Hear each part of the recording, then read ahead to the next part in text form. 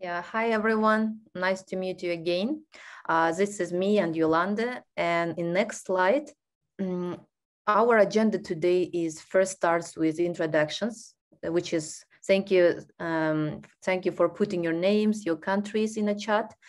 And Yolanda will have a um, small recap of what is uh, HEET is. We call it HEAT, but it stands for Higher Education Engagement and Transformation Community of Practice, kind of online uh, platform. We are all meeting together, learning.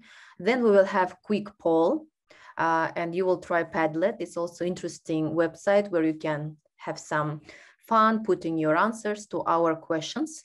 Uh, and we have exciting event today, uh, which is uh, called Donors and Implementers Cafe. Actually, uh, not only implementers, we have everyone here from academia, research, development, use, and we will listen to our great uh, distinguished speakers. Thanks so much for them for coming today. Uh, it's speakers from USAID, IREX, and FHI 360. key organizations in development, as everyone knows.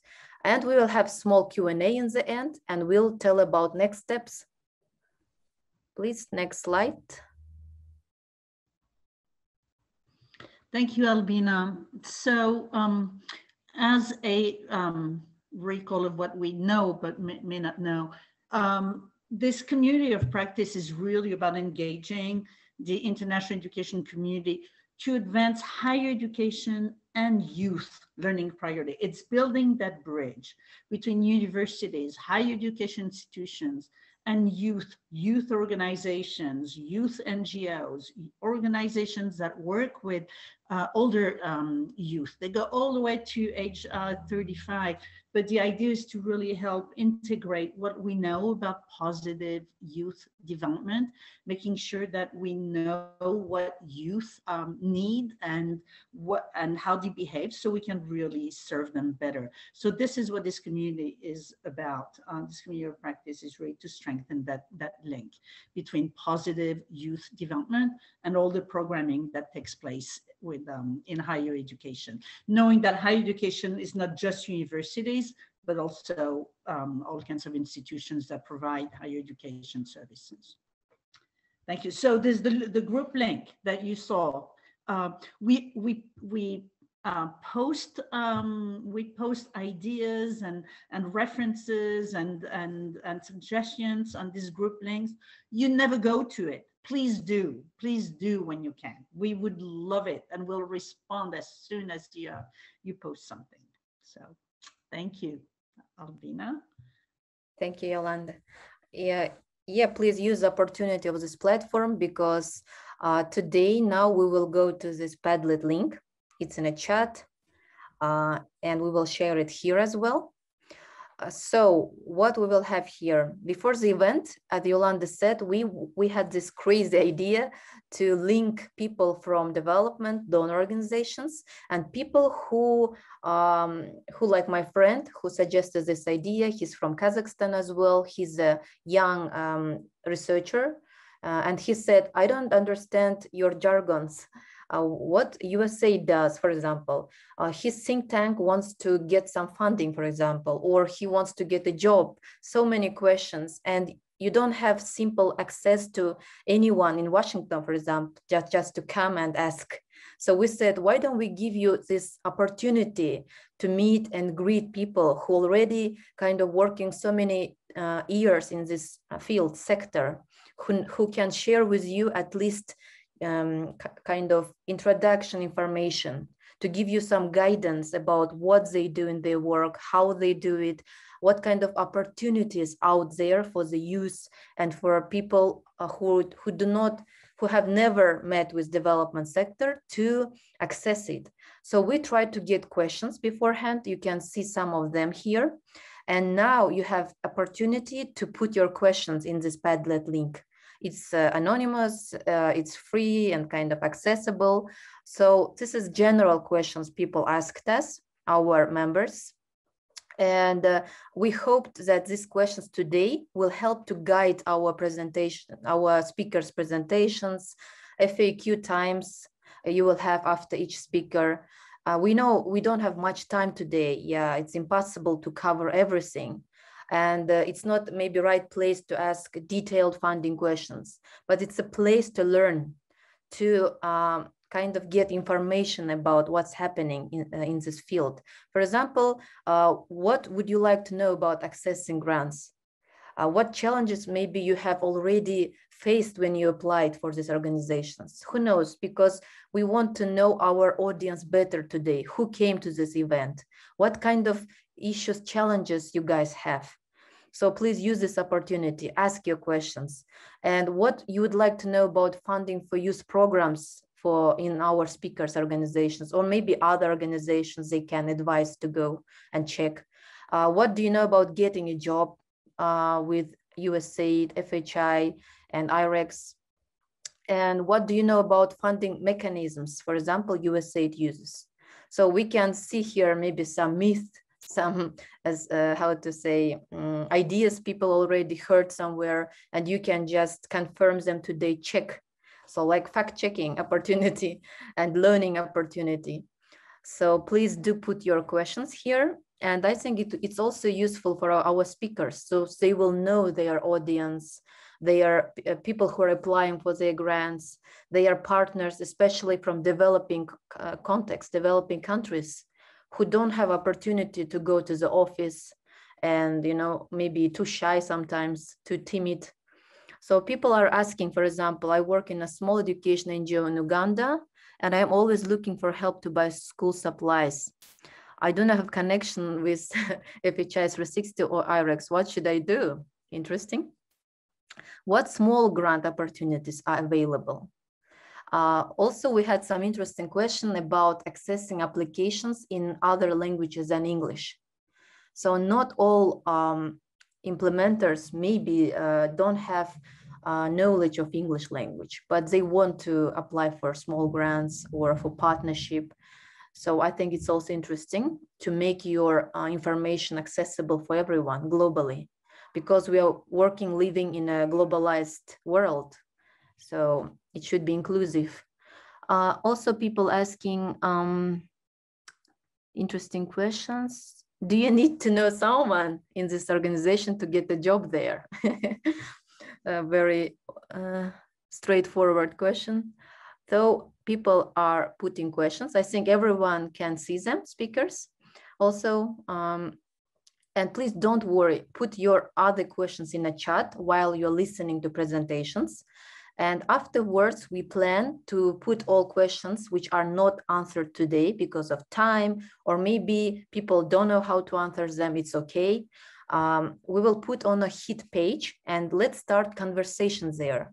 So people who know answers, they can comment on our page, uh, community page, so we can keep ball rolling. So don't worry, you will be heard and you'll get your answer. Okay, we have time. Mm -hmm. Yolanda, what do you think? Am I missing something? I think Great. we should get going with our presenters and questions will keep coming in. How's Great. that? All right. So um, I will start uh, with uh, the introduction of Matthew Johnson and Rachel Chilton. We're really honored to have USAID representation uh, with us today. Matthew is the Director of um, Communications in the Office of Acquisition and Assistance. And for those of you who don't really know USA, OAA is like the, the it's the bunker. It's where everything happens. Without OAA, nothing, nothing would take place. Uh, if ideas would not take shape, programs would not get funded. So it is the most important uh, office we have at USAID. Rachel uh, Chilton is the Deputy Industry Liaison and Deputy Director of Communications at USAID. And we're just so honored to have you, Matthew and Rachel. And what we'd like you to focus on, both uh, Matthew and Rachel, is tell us, how does USAID work? What does USAID do? How can partners especially youth organizations and higher education institutions, how can they work with USAID? What kind of funding mechanisms um, exist, especially for youth programming and higher education programming? And anything else you can think of, um, of telling us, it will be helpful. So thank you again, and uh, please take it on. Sure. Thank you so much. Thank you for for having us here today. We're we're really excited to to be here to speak with you about USAID. Um, as well as our acquisition and assistance processes. Again, um, Matthew Johnson and myself, we are in the Office of Acquisition and Assistance and work on the communications team. Um, and if we can't get through all of your questions today, we will be sharing ways you can stay in touch and, and contact us at the, um, at the end of this presentation.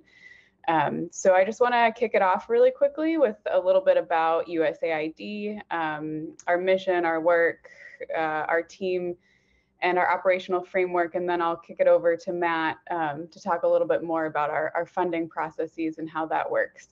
Um, so USAID, like many agencies and organizations, has its own unique history, culture, and way of doing business. This is really important information to understand as you think about becoming a partner of USAID. The agency carries out US foreign policy by working to improve the lives and well-being of people around the world. And although our work is separate from political and military assistance, um, USAID programs address security objectives in addition to our, our development objectives. So that's something to keep in mind.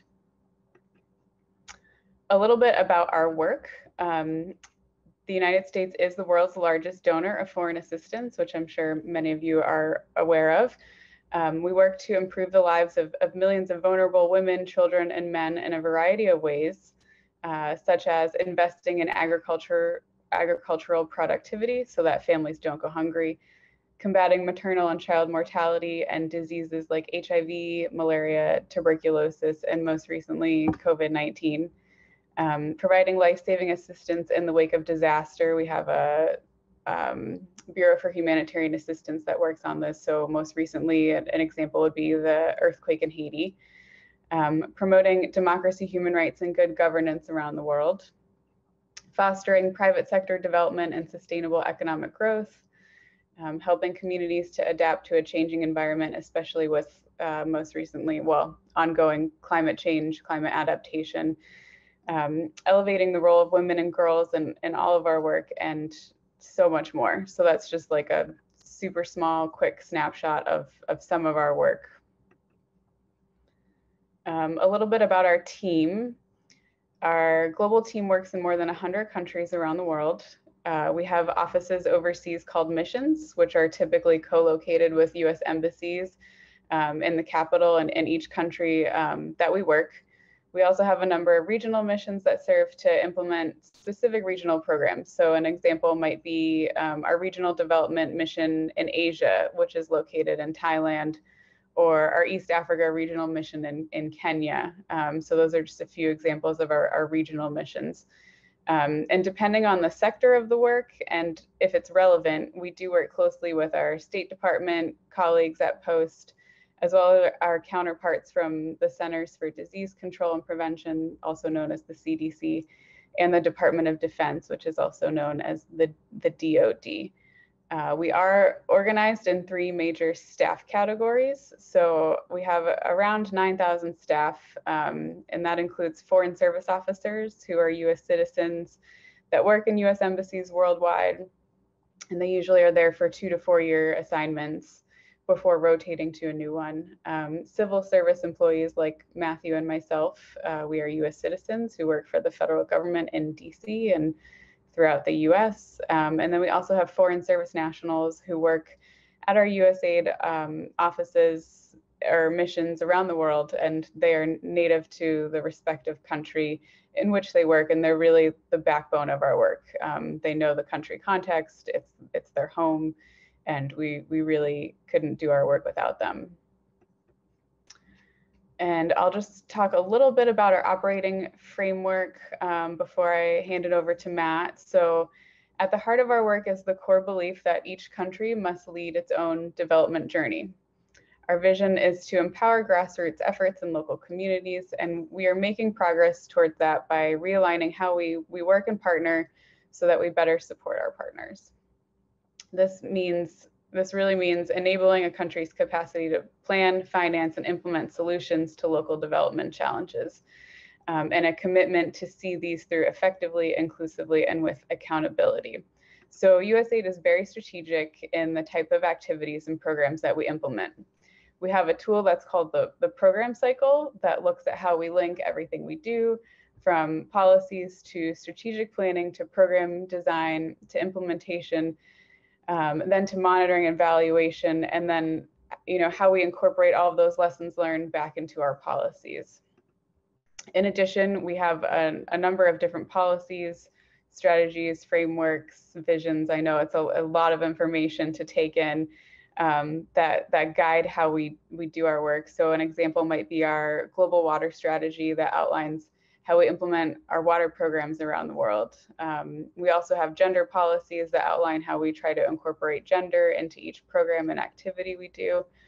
Um, and then in addition to some of the, the policies that come out of Washington, uh, each mission at USAID also has what's called a country development cooperation strategy. So these are known as the, the CDCS. Um, and these govern USAID's work locally in that particular country. Um, I don't know if Matt can maybe drop a link in. We have a, a page with um, all the different CDCSs for each country. So these uh, typically are, are five-year strategies that outline the different goals and um, specific technical areas in, in each mission around the world.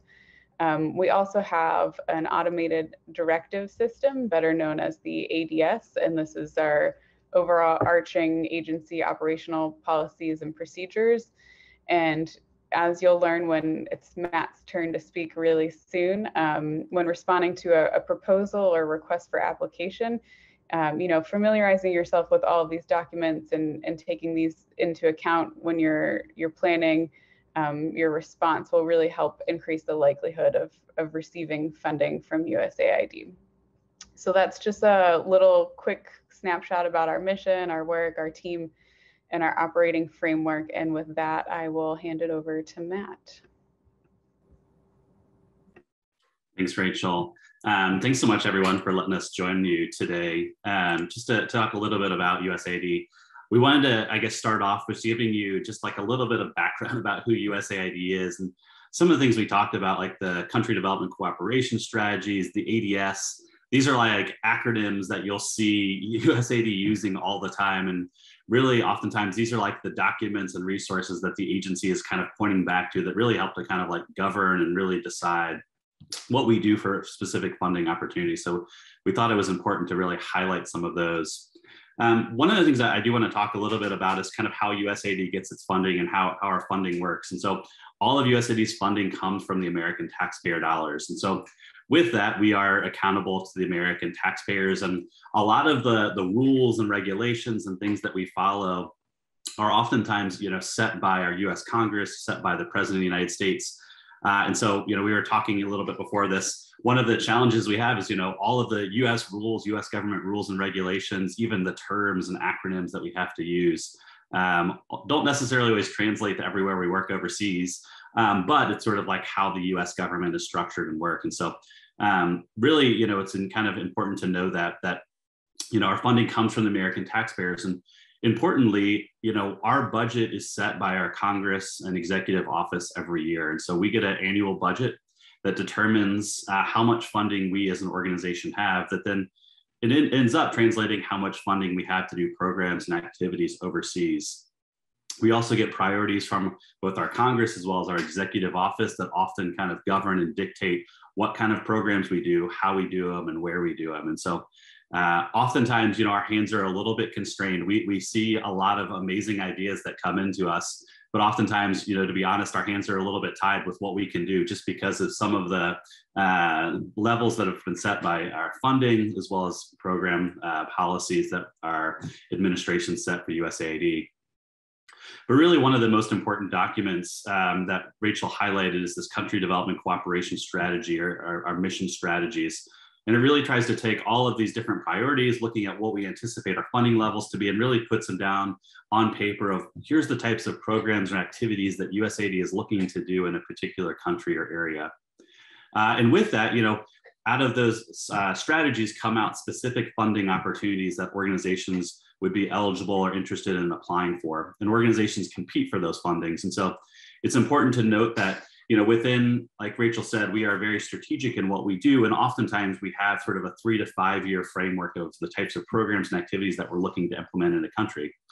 And i always tell you if you're, you're new to usaid i encourage you to look at a, a country development cooperation strategy for a specific country or region that you're interested in working in see how the work that you're doing aligns with that strategy what we're oftentimes looking for is trying to find organizations that their work aligns with the strategy that we're doing in country. And if we can find a way of kind of meshing those together, it really is something that we're looking for with those kind of with, with partners. Um, but I want to just very briefly um, kind of run through, you know, how do you find funding opportunities? What do they look like? How is that done? And even talk a little about some of the terms. Um, I want to start off. So we have a great video called Acronym Soup. If Rachel can drop it into the chat box, that talks about some of the acronyms, some of the terms that you need to know to be able to do business with USAID. There are a lot. I've been with the agency for 14 years, and I feel like every week I'm still learning a new acronym that I've never heard of before. Uh, and so, you know, being totally new to the agency or from the outside, I can only imagine the difficulty. So, we put together a short video called Acronym Soup that really starts to show you, talk about some of the acronyms, what do they mean, and how do they all tie together. But at the end of the day, USAID, like I said, is required to compete all of our funding. So all the funding that we have, we're asking organizations to submit proposals, concept notes, or applications to us, and we review and review those applications or proposals uh, to, to see what, what ones kind of most closely align with the work that we're doing, which proposals we think are you know the most feasible in our work. We use two websites that we highlight all of our funding opportunities, sam.gov which is where we post all of our contracts. I think just given the makeup of this group, I'm guessing you're probably not interested in contracts. These are mostly like for-profit companies that are interested in applying for contracts with USAID. Uh, but we issue those through things called requests for proposals, where we invite organizations to submit proposals to specific programs or activities that USAID is interested in doing. The second website, which I think will be most relevant to you, is a website called grants.gov. And that's where we post all of our grant opportunities, as well as something we call a cooperative agreement. A cooperative agreement somewhere kind of between a mix between a contract and a grant, where USAID has some goals and objectives that we're trying to achieve and we want to have some involvement in it, but we really want you to kind of take the lead in, in implementing that activity or running that activity. But if you go to, to grants.gov, you can see all the current funding opportunities that are available um, with USAID. And maybe if Rachel can actually drop in the chat box as well. We have a short video of how to even go to grants.gov and kind of navigate to find specific funding opportunities. But really, these are the two places where all of USAID's funding opportunities are posted. Uh, there's no like secret database or some secret place or uh, some organizations know that funding is available. This is where we are legally required to post. And this is actually where all US government funding opportunities are posted. Uh, and so I encourage you to take a look at those websites, kind of become familiar with them you know, specifically grants.gov, you can actually set up a profile on grants.gov and you can follow um, specific funding opportunities, subscribe to them, get updates and things that are happening. But um, on grants.gov is really, really find all of the things you need to know about specific funding opportunities. Um, for organizations that are new to USAID, I do want to highlight, you know, a couple of different types of mechanisms or specific things that I think you'd be interested in, in focusing in on. Um, I know that there was uh, one of the questions that came in, what sort of mechanisms you know, fit best for our organization. If I was a new organization, I would look at something called, we have these things called annual program statements. Annual program statements, we actually have one um, with uh, related to youth programs and activities that are kind of outline some higher level goals and objectives that USAID is trying to achieve. There aren't any specific funding opportunities associated with an APS or annual program statement, but what happens is our, our missions or offices overseas develop things called rounds or addendums, which are very specific funding opportunities where we invite organizations to submit concept notes to USAID. And so what you're looking for on grants.gov would be an addendum or round to an annual program statement. These are oftentimes some of the easiest and kind of best, best ways for organizations that are new to USAID to kind of get into the mix of things. And this partially because Uh, we have an initiative called the New Partnerships Initiative, where we're looking at trying to simplify the way that organizations can kind of access USAID. We have a, a web page on, a page on our website, uh, NPI, new, or the New Partnerships Initiative funding opportunities that actually highlight some of these specific funding opportunities. We also have a newsletter that we'll, I'll highlight shortly. But these are really great ways to kind of enter into the agency. What we require upfront are just short and simple three to five page concept notes where we really outline what is the overall concept or idea that you're trying to achieve and how that kind of connects to the agency or to USAID's goals and objectives. So I would definitely encourage you to take a look at those.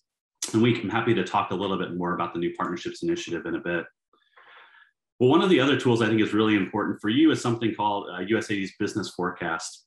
So we have a, a, business forecast that actually highlights before any funding opportunity is posted on grants.gov or sam.gov, we actually have a business forecast that highlights what are the upcoming projects or activities that USAID is planning on doing in the next uh, couple of months, all the way up to the next year, year and a half.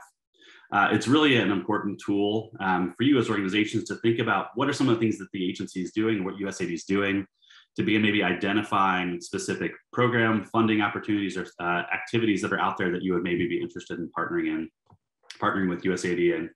Um, you'll see here just a snapshot of a media fund activity in Serbia. Um, this is just a you know a short overview of um, you know what we would show you on a bit on our business forecast. Has a short description of it, when we anticipate releasing a solicitation, um, whether or not it's going to be a contract, grant, or cooperative agreement. Uh, we even give you a point of contact if you're interested in following up to get more information. But I would definitely encourage you to take a look at the business forecast. Um, and like I said, happy to chat a little bit more about that as well.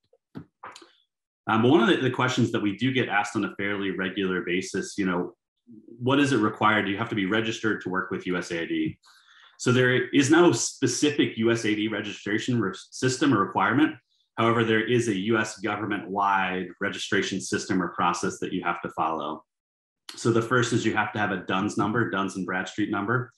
Then you have to get a CAGE or NCAGE number, depending if you're in the US, a US based organization, you have to have a CAGE number. If you're overseas, you have to get an NCAGE number. And then the final system is uh, SAM or the System for Award Management. You have to be registered in these three systems in order to get funding from USAID. Now, if you're looking at a specific funding opportunity or uh, applying for uh, a new partnerships initiative funding opportunity, um, we would encourage you to kind of start the registration process then. You don't have to be registered in all these systems before you apply for funding. But if you do get funding from USAID, we'd ask you to be applied in these systems. I will say that these systems are a little bit complex. They're not the easiest ones to, to navigate through. Uh, but we do have a, a helpful guide um, on kind of uh, registering. We have a, a, short video called Registration Expectation. Gives you kind of a helpful guide and tips if you're looking at, if you're new to USAID or new to the US government and registration systems, you can check that out. Um, so, and our team is also happy to help answer questions about the registration system if you get to a point where you're looking to register um, in these systems. So just to be clear, this is the only registration system that is required to, to get funding from USAID. Um, but one of the things that I'm most excited to talk to you about is uh, a new website that we're hoping to be going to be launched in the next couple of weeks. It's called workwithusaid.org. Uh, it's a really exciting platform that's going to be set up to really target folks like you and connect you both to the agency, to other organizations, to resources, and really kind of like help you on your journey of partnering and working with USAID. Um, so we a couple of things that we're really excited about with this website. Um, first of all, we have a, a partner directory or directory of organizations one of the things that we know there's a lot of amazing organizations out there. We don't necessarily know who all of them are. And so we want to find a way of identifying some of the groups that are out there that are doing development work that usaid can potentially partner with. But we also want to find ways of connecting organizations that are new to usaid or new to the development space to some of our more traditional partners. And so we're setting up a partner directory that allows you to research um, specific sectors regions of the countries or different places or areas that you can actually um, connect with other organizations that are maybe doing similar work. I know one of the, the questions that we get all the time is, you know, how do I find other organizations that are working with USAID? Ultimately, this partner directory will be the place that you can go to do that. Um, we will open up, hopefully, the partner directory for organizations to begin um, uh, showcasing themselves in the near future. Well, one of the other things we have on the website is this pre-engagement assessment. I know one of the questions we get all the time is, you know, is my organization even in a position to be able to work with USAID? it's kind of a hard question for us to answer without having an in-depth conversation with you. Um, but we've set up this kind of short, it's I think 49 questions pre-engagement assessment. It's a self-guided uh, assessment that really helps you identify, you know, what is your readiness to be able to actually apply for USAID funding. Depending on what you what the readiness score comes out is, we also have trainings and resources that are actually available to help you kind of be in a better position or be ready to, to work with USAID. Uh, we have a great library of resources, the things that have been created both by USAID and other organizations um, that really kind of help talk through what does the funding process look like. Uh, we also have a great news and insights blog that really talks about what are some of the pathways to partnership where we try and highlight specific funding opportunities or programs um, that are out there. Um, so we're really excited about this uh, particular platform. Um, we have a, a, new partnerships initiative um, email address uh, or email newsletter that once we get the website ready to launch, we will be happy to, to share it with you all. Um, before I turn it over to Rachel, um, real quick to talk uh, a little bit about some of the ways to connect with us, I do want to highlight just a couple of other um, smaller grant programs that I think you would maybe be interested in. Um, I saw one of the questions uh, that came in the chat box was about, you know, a startup program. You've got an idea or concept um, you know, is there funding for you for these types of programs? One of the, my favorite programs at USAID is a program called the Development Innovation Ventures or the DIV program. You just go to usaid.gov slash DIV. You can learn more about it. But the, the DIV program, we're looking for what are some really like creative or innovative ideas. And we actually have, I think, three levels of funding within the DIV program. We help bring organizations or ideas up to scale that can kind of multiply their work it's a great program um, that I, I, do want to highlight to you um, kind of before we turn over. and something I would I definitely encourage you to take a look at. And I know there are some other colleagues from our, our education office and youth office that are on here that I know could highlight some other specific funding opportunities. But I want to turn it over to Rachel real quick just to talk about some of the ways to get connected to our team.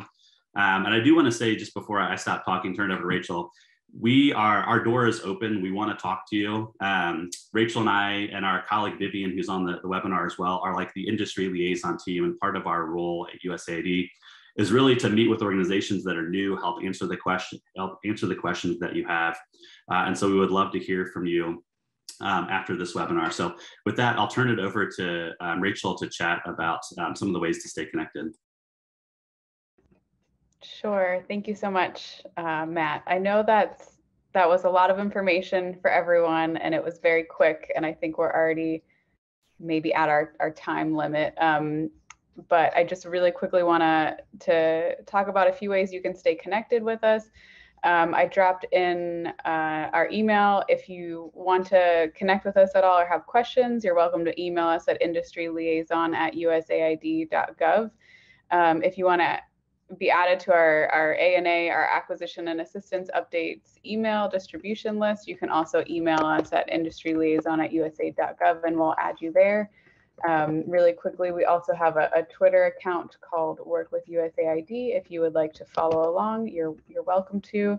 Um, we also have a Work with USAID LinkedIn group um, you're welcome to request to join on our, our Twitter and LinkedIn group. We use both of those spaces to um, highlight USAID funding opportunities that, that are already available and posted on grants.gov and sam.gov, um, just to, to re-highlight and amplify them for people, as well as other partner tips and resources that might be useful for you.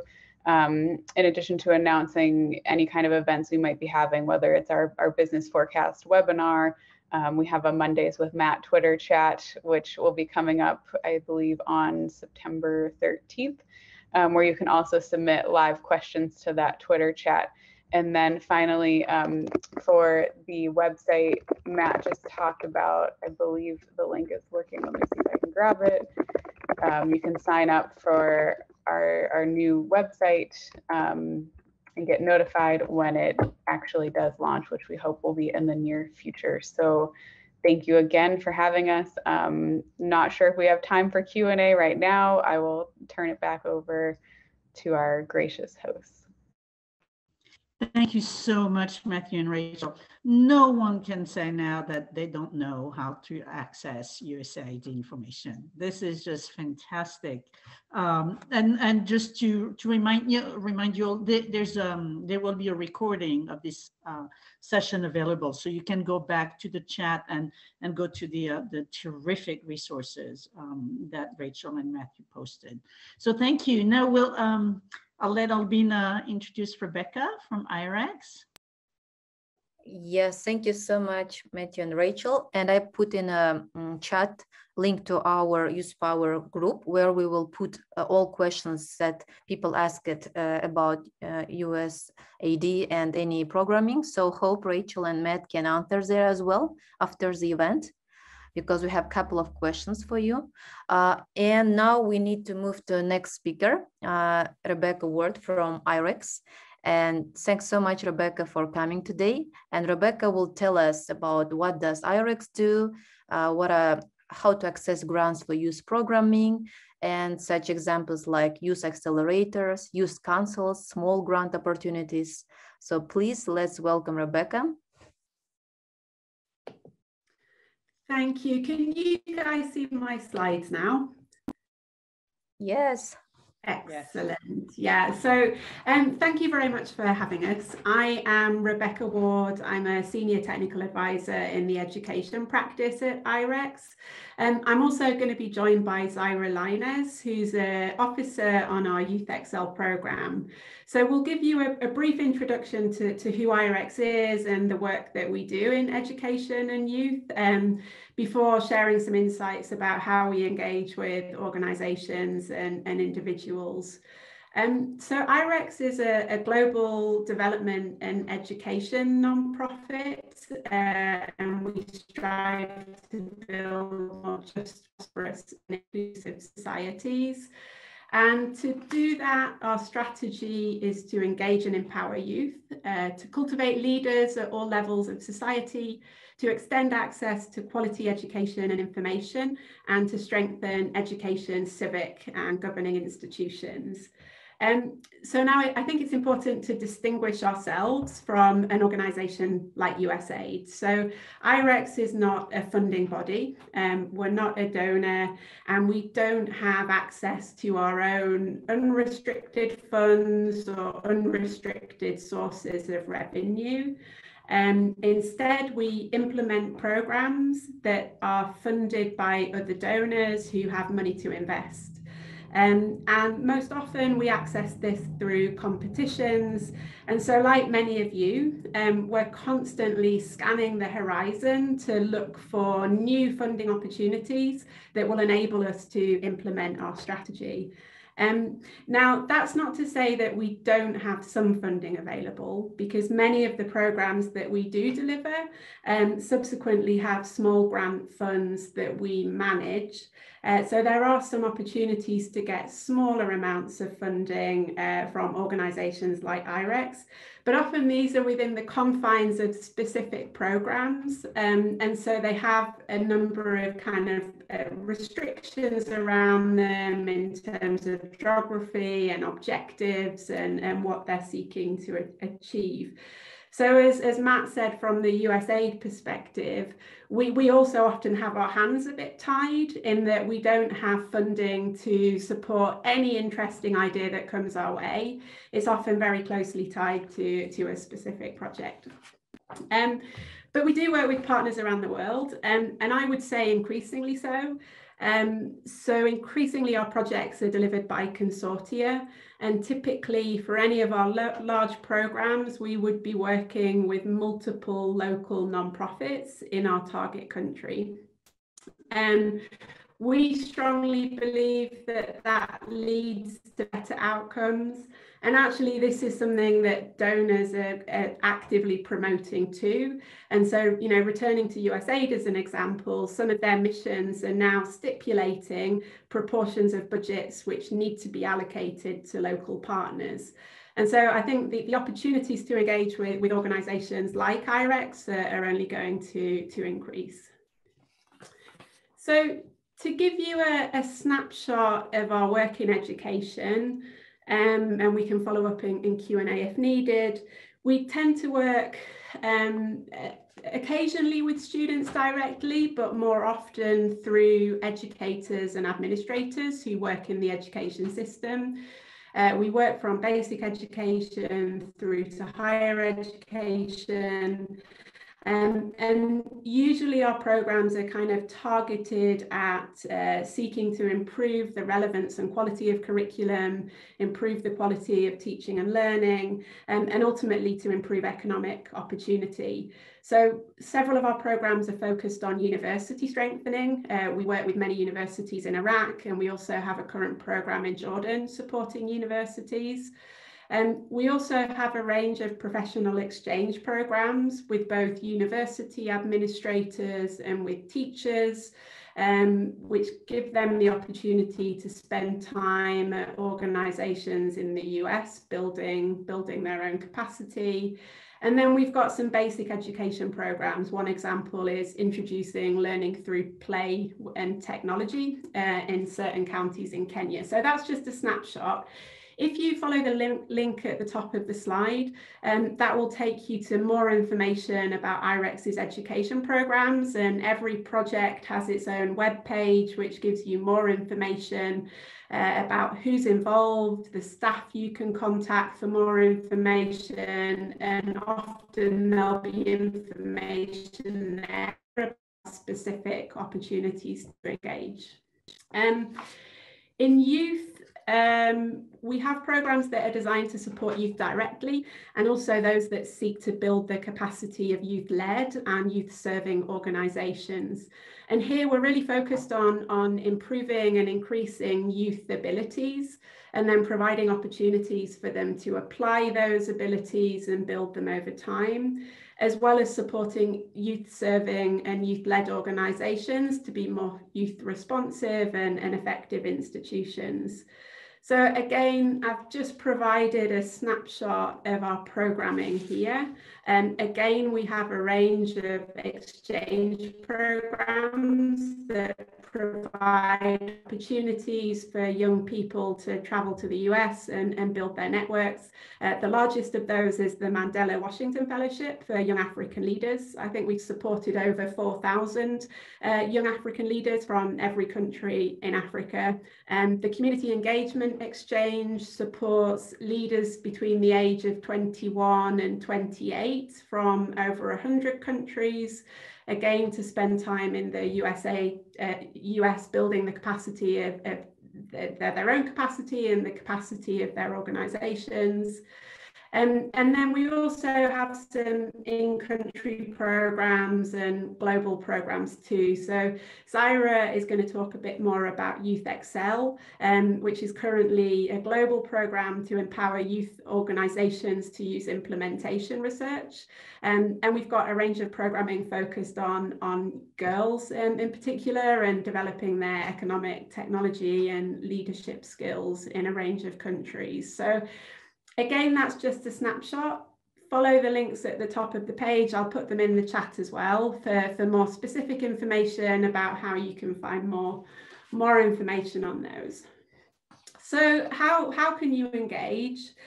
Um, I was trying to think about the, the best way to frame this and, and in my mind it, it makes sense to think about two different phases. So the first phase is pre-award and this is where we as an organisation um, are developing proposals for new projects. So we may have seen something on grants.gov um, that we want to go for because we think we're well positioned for it. And we'll start doing lots of preparatory work to get ready for that proposal in the hope that we can win the competition to implement that programme. So that's the first phase. And then the second phase is post award. And that's when we as an organisation has been chosen to implement a particular project. And I think there's different ways for individuals and organisations to engage at each stage of, uh, of that cycle. At the pre-award stage, one of the first things that we will do when we see an opportunity that we think we're suited for is to talk to local partners. And we will speak to many, many, many organisations as part of that process, ultimately with the view of identifying a consortia of organisations to be the implementation team. And so that, that's a great opportunity for, for local organisations to engage with a, a, a, company or an organisation like IREX. Um, and we we can't talk to you unless we know about you. So a large part of my role as a senior technical advisor is to have conversations with prospective partners. And and my door is open for that. I enjoy those conversations. I invite you to to get in touch and those conversations are always most productive if you've kind of done your homework in advance and all of the things that um, that Matt was talking about from USAID have taken place. So you've maybe looked at the forecast and you're aware of specific op um, opportunities that you think you might be well suited for. You're aware of the types of approaches and strategies that USAID employs, and you're able to come to us with a super strong pitch and set of capacities that say, we think we're the right partner to bring you local reach, local trust, local networks, and all of these things that will make the program work more effectively. And I would expect to be speaking to kind of more, more than 20 organizations at, at that part of the process. So, so that's one way to engage. The, the other way to engage as individuals is that often as part of our kind of proposal preparation process, um, we'll hold a number of design sessions or knowledge sharing events um, in the country that the project is located. And they'll usually be advertised on social media or through local networks.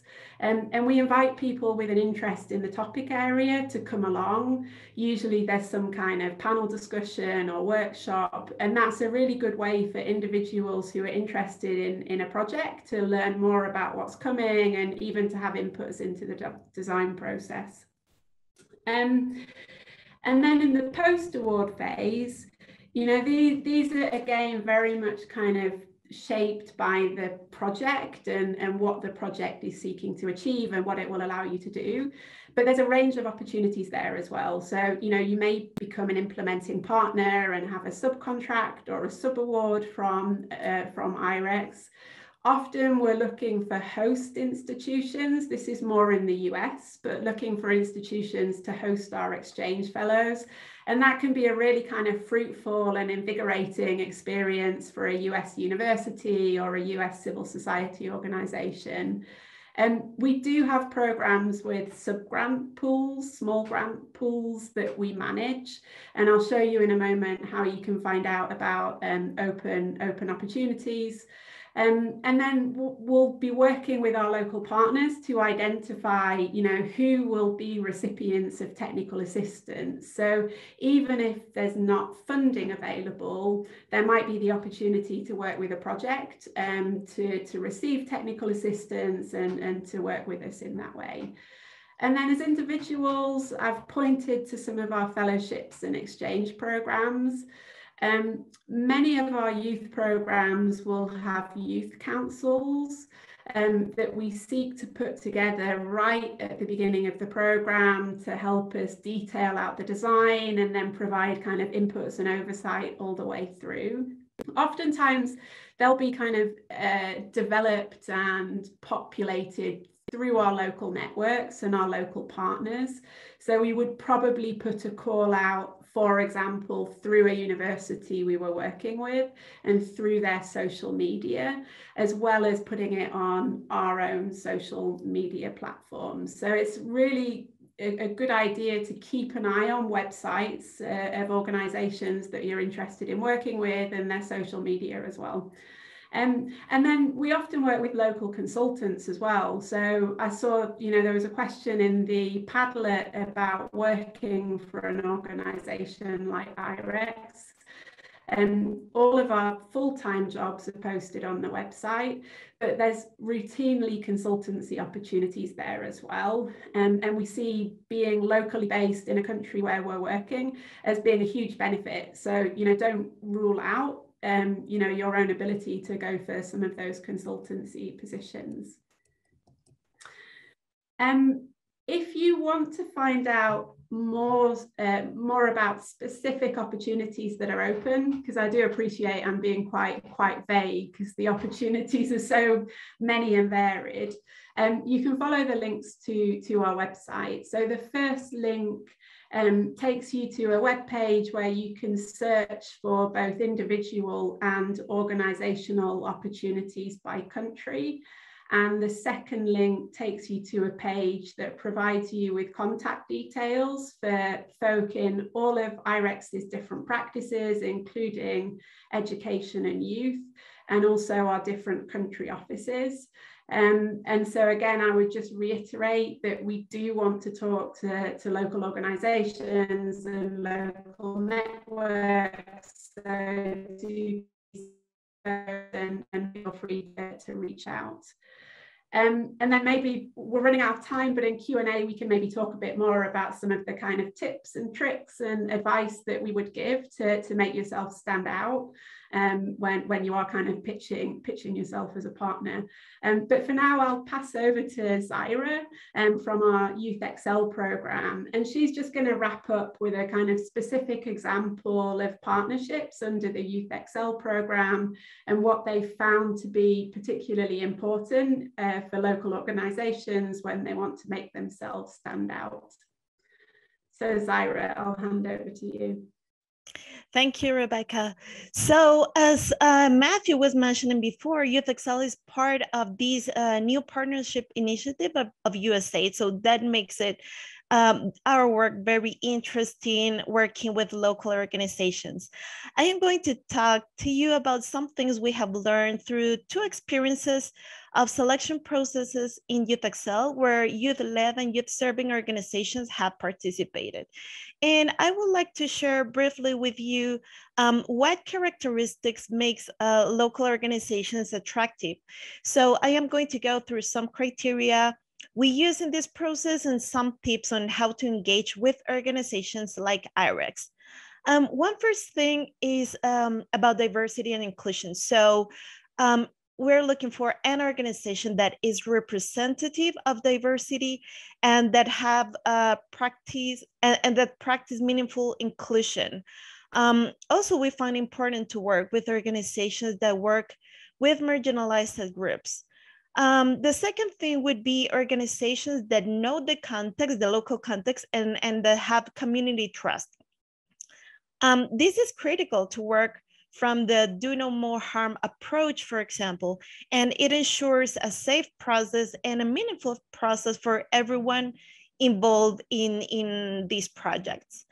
Um, a third thing would be um, the importance of local and regional networks, as, as, Rebecca was mentioning and highlighting during, during her um, during her part. So we are looking for organizations that are part of networks that have experiencing experience in leveraging networks. And as you know, these are fundamental for sustainability, um, especially when funding ends um, we we've we have we got networks and it can also help to scale up your program um, finally, it's great to see organizations that show interest in a learning culture. So share with us, uh, what have you learned from your previous experience? What do you want to learn? And how are you going to do that, etc. And I will uh, quickly finish with two tips. Um, the first is think what makes you different from other organizations. Uh, focus on one thing that you do really good instead of trying to do too much, instead of trying to cover uh, too many things. And my last tip, and I think this is the more important, dare and have fun. Uh, don't discourage if you feel uh, you don't have everything that is required, but you can show other strengths and your interest in capacity building. Don't be shy and give it a try. You don't know if you are the one we're looking for. And if you don't make it, you have gained a valuable experience. Thank you. Uh, thank you so much, Rebecca and Zaira. I really enjoyed and I think I loved your graph with showing how people could engage with IREX. I think I even tweeted it. So to, to increase our reach of useful information today. And from my experience, uh, which I loved with um, USAID funded projects, is their mission to help countries in their journey to self-resilience. And especially, as Zaira said, for local NGOs, um, all, all implementers, donors, they know that civil society sector may, may not know everything, yeah? But um, in this big grant uh, programming, there is a mission to help you guys to build your capacity to teach you, uh, not to teach you, but uh, co-design with you the projects because you know the context, you know the challenges, and you are partners. So please don't be shy if you think I, am struggling with concept. I don't have technical, you know, jargons. I don't know. You, you uh, people can help you. So uh, and in the chat there, I, I also shared links that Rebecca mentioned uh, about IREX website. So please don't worry if you feel your uh, NGO doesn't have kind of requirements or, uh, you know, some people uh, have struggles with procurement uh, policies. Everything can be learned and strengthened. So this is from my personal um, experience. Thank you so much. I really loved it. And as we said, uh, because of time sensitiveness, we will put all questions on our HEET page, uh, which people asked about IREX. So if Rebecca and Zaira would just be so kind and register and answer them uh, in an informal platform, I think that would be awesome for many people because we have, you know, big um, diverse members coming from different parts. And now we need to move to our uh, next speaker and Yolanda, thank you. Yes, thank you. Um, thank you, Albina. So our last but not least uh, presentation comes from Uzma Anzar, who's project director and technical advisor at FHI 360 with, with decades of experience on how to work with USAID and also how to work with FHI. Uzma. Okay, thank you so much, uh, uh, Yolanda and uh, Albina, and uh, hello to everyone who has joined us uh, from different parts of the world. I'm going to briefly uh, speak about what FHI 360 does and how youth organizations and um, um, others who are working in international development can engage with FHI 360. So Albina, will you be able to play the presentation? Okay, great. Thank you so much. Um, so FHI 360 is uh, an international not-profit uh, working group, and we are working to improve the health and uh, educational well-being of uh, people in the United States and uh, all over the world. We have uh, 4,000 employees working in 60 different countries. And our programming, um, the, the, the, this FHI 360, the 360 denotes FHI's um, perspective in program design, which is uh, highly contextualized and engages a lot of partners on the ground. Um, uh, we uh, work with governments, USAID, foundations, and other donors, including uh, the World Bank and uh, DFID. Uh, our local partners are um, civil society organizations consisting of youth groups, organizations focused on gender uh, equality and equity, and uh, local uh, education and health providers. Um, here are some examples of FHI's uh, engagement with youth organizations and institutions of higher education.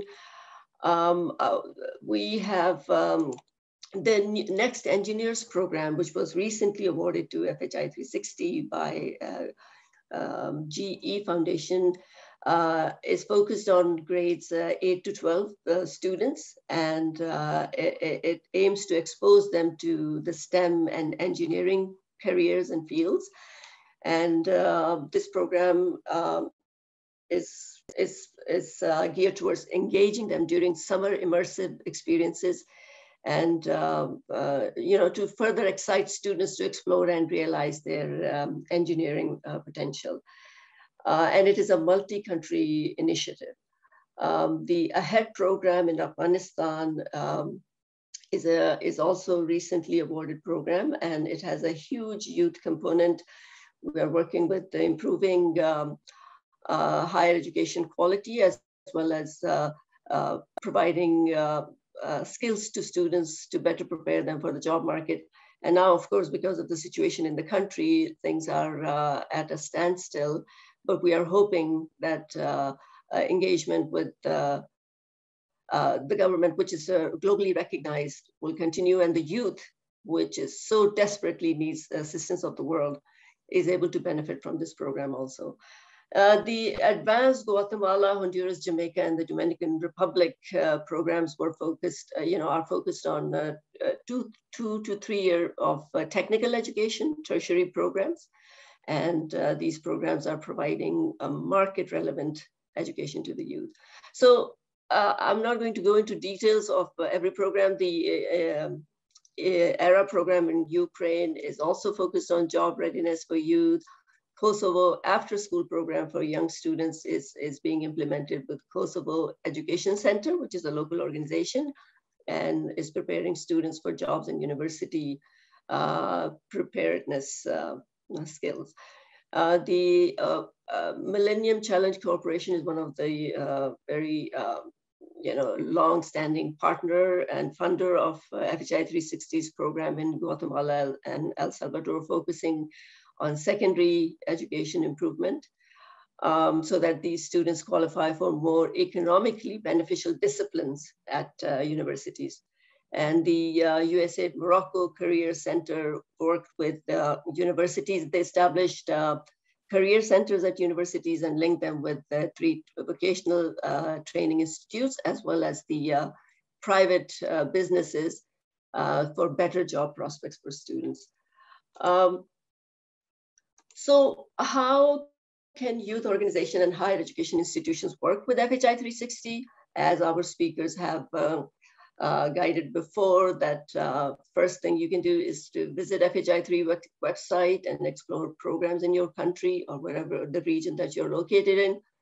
Assess what you do is aligned with the program objectives of FHI 360 pro project. Matthew spoke about, you know, your readiness um, uh, I, I, think that that would be a very good place to begin with, and then to see what FHI is doing is aligned with what your capacity is, and then you please do reach out to the program leader, uh, chief of party, technical uh, leaders who are working uh, with FHI are always available to speak, and uh, you can introduce yourself prepare a presentation which shows how what you do will further the objectives of uh, FHI's uh, program or the, the funders' objectives in the country.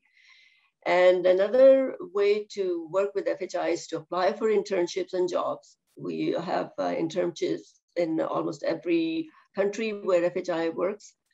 And then, of course, as uh, Matthew and Rachel uh, mentioned before, um, is visit USAID Project Forecast, website and see if there are upcoming programs, immediately write to FHI 360 and see if uh, you will qualify as a local organization to partner with uh, FHI with uh, on proposal development and uh, initial data collection. And on initial and data collection, I must say that uh, and all other funders are focusing on evidence-based programming and results-oriented uh, programming. So um, monitoring it for monitoring and evaluation of FHI 360 is always looking for highly qualified data collectors, local. So if you have expertise in this, you are a professor or a student who uh, is interested in, in research, please reach out to FHI 360 programs and uh, the because there is a lot of uh, work in this area, especially. So in the end, uh, you know, join us, work with us, teach us, because you know the local context better than uh, uh, you know the, the people who come from uh, uh, the headquarters, and perhaps you can learn from us also. So thank you.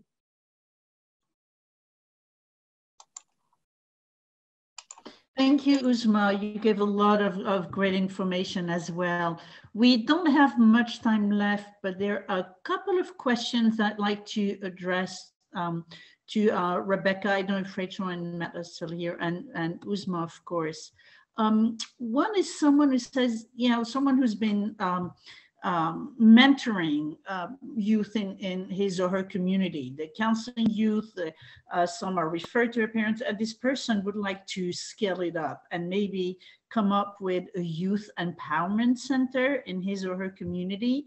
And he or she's saying, yeah, how do, you know, how I, am looking for resources to, uh, to come up with this youth empowerment center. What should I do? How can I partner with you?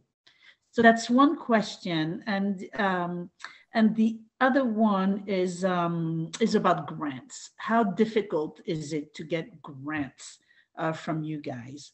So uh, if uh, Uzma, Rebecca, or uh, Zaina can uh, answer or take a stab at these questions, that'd be great. I, I can, sorry, go on. We're so keen.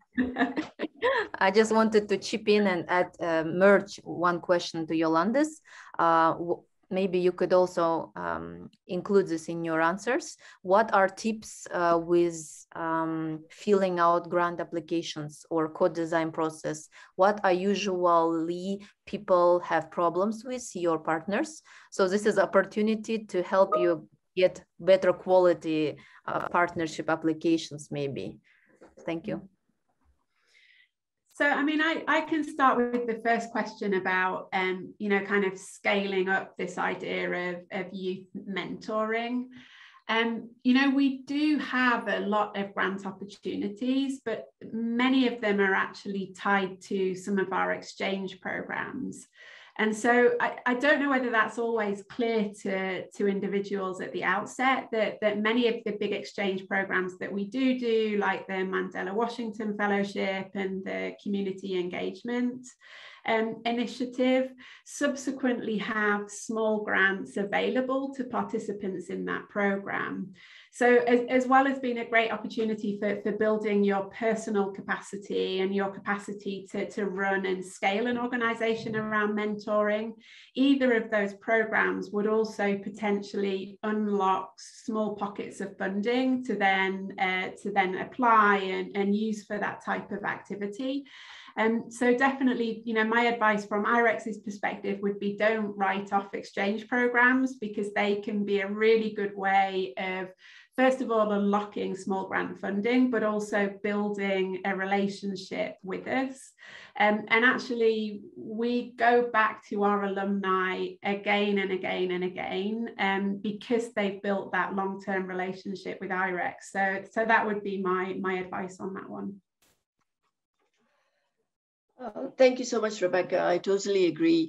Um, uh, one other thing that uh, uh works in, in, our, in uh, our favor and local organizations' favor is if we are implementing a cooperative agreement, which is more flexible, and if you know things can be adapted given the situation. So if you have um, a youth advisory program or youth mentorship program, and you would like to be the partner, and if it is a good program and uh, uh, you approach uh, FHI 360 team, then definitely if it is a, as I mentioned, is if it's a cooperative agreement, there is always room for adding new partners, uh, especially if the uh, if it is going to uh, further the objectives and increase the beneficiaries pool on the ground. So there is um, always flexibility there.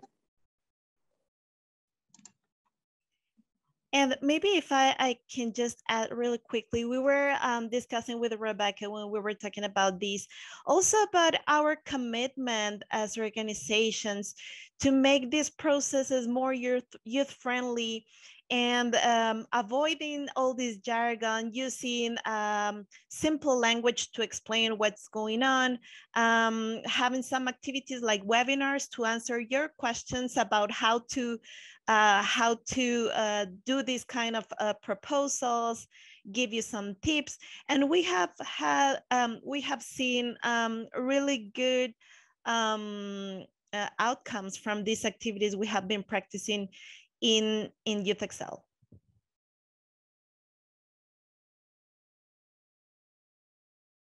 That's terrific. Thank you so much, Rebecca and Zara and, and Uzma and, and, and Matt and Rachel.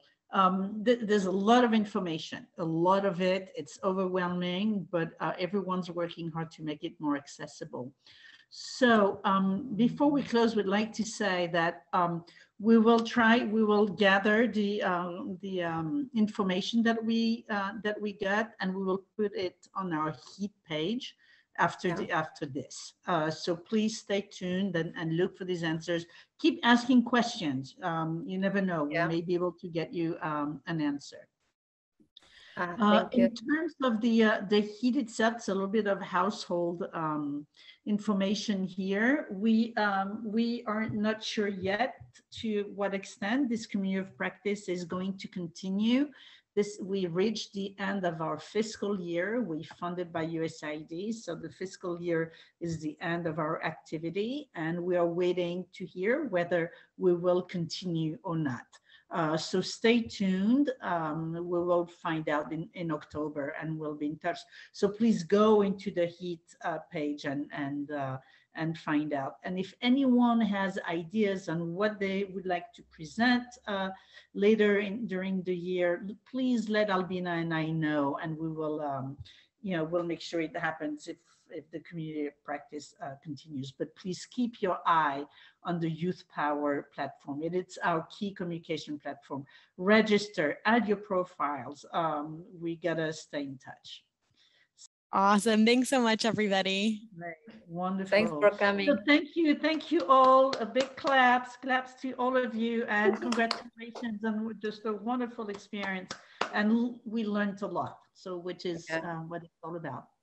Thank you. Have a good rest of the day, of the evening, um, and be in touch. Great, thanks so much. Thank you. Thank you very much. Bye-bye. Bye. Bye bye.